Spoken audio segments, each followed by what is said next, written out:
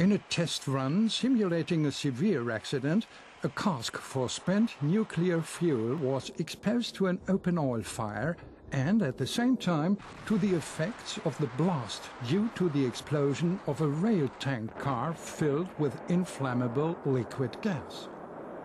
The castor container was hit directly by fragments of the bursting tank and the car, and then engulfed by a fireball as the liquid gas ignited abruptly. The cask was thrown off the test ramp and, although turning over, remained completely undamaged.